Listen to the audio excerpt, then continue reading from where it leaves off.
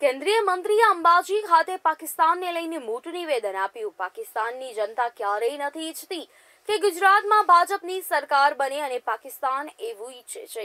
કે ગુજરાતમાં કોંગ્રેસની સરકાર બને. આ નિવેદન રાજ્ય કૃષિ મંત્રી કૈલાશ ચૌધરીએ અંબાજી ખાતે આપ્યું હતું. દાતા વિધાનસભા સીટ પર છેલ્લા ઘણા વર્ષોથી કોંગ્રેસના ઉમેદવાર જીતતા આવ્યા છે. ત્યારે આ વખતે ભાજપ દ્વારા દાંતા વિધાનસભા સીટ જીતવા માટે પૂરી તાકાત લગાવવામાં આવી છે. ભાજપ દ્વારા પ્રચાર માટે બાઇક રેલીનું પણ આયોજન કરાયું હતું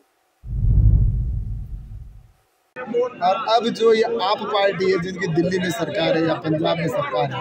वहाँ पर भी उन्होंने वही खेल प्रारंभ किया वहाँ पर भी उन्होंने भ्रष्टाचार करना प्रारंभ किया जो भ्रष्टाचार के नाम पर वो लोग आए थे कि हम भ्रष्टाचार के विरुद्ध लड़ाई लड़ेंगे अन्ना हजारे के कंधे का सहारा लेकर वो आए थे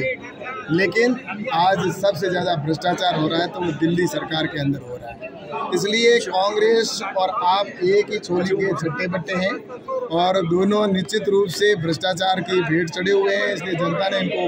पहचान लिया है, इसलिए गुजरात की जनता बहुत समझदार है। वो इनके बेरूपिये के ऊपर या जो रूप बना कर रहे हैं उनके ऊपर कोई विश्वास नहीं ऐसा है कि ये हम सब भली भांति जानते हैं कि भारतीय जनता पार्टी एक राष्ट्रवादी विचारधारा की पार्टी है और इसलिए पाकिस्तान के अंदर भी इस चुनाव को लेकर बहुत ही गंभीरता से वो देख रहे हैं कि गुजरात के अंदर क्या होगा। और गुजरात पाकिस्तान की जनता या पाकिस्तान नहीं चाहता कि गुजरात के अंदर एक राष्ट्रवादी विचारधारा की भारतीय जनता पार्टी की सरकार पुनः बने।